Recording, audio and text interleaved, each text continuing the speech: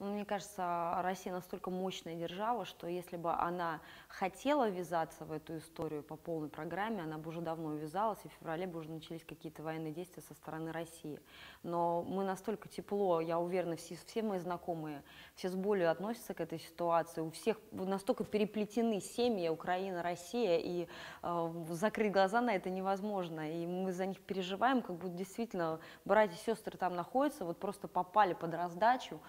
уверена, что используют наркотические разные э, средства, да, чтобы людей как-то взбудоражить и агрессивно настроить, потому что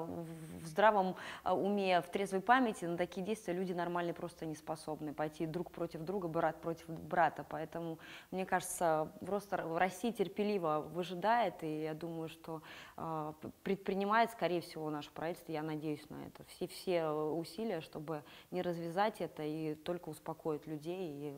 настроиться на мир.